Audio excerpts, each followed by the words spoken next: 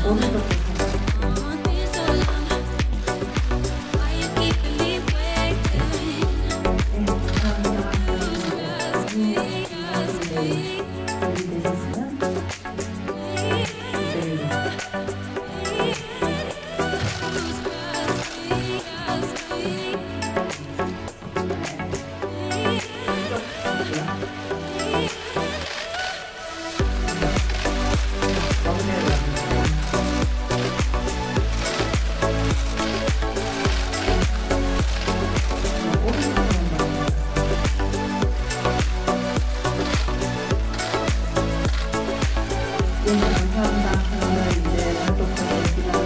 조우성 감독님.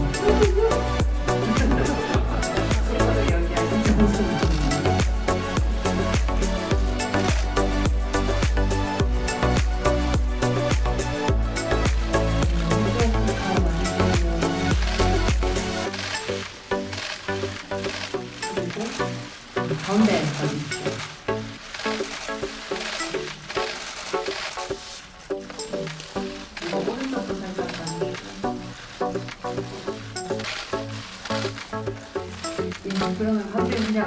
보시고 저희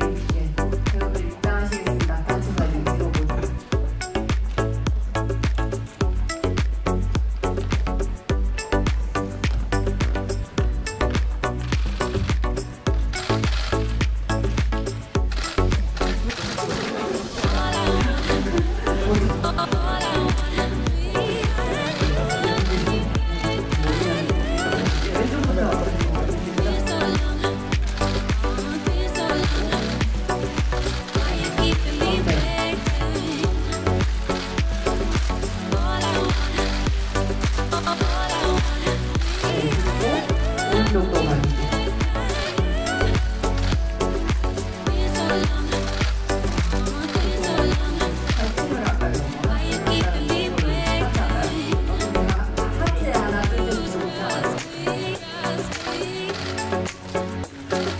미션.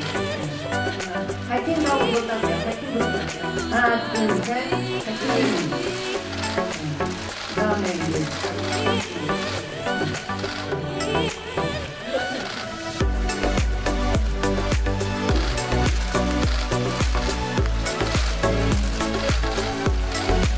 감사합니다. 그러면 포토타임까지 다 올리겠습니다.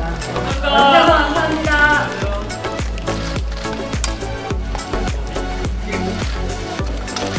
네, 그럼 보호자 완전 마무리하겠습니다. 관객들한테 처음 영화를 보이는데 아 정우성도 또 하는구나 정우성도 이렇게 긴장을 하는구나라는 왜냐면 어, 대선배님이기도 하고 저도 우성 형의 영화를 보면서 우성 형 저 그냥 평범하게만 살게 해주세요.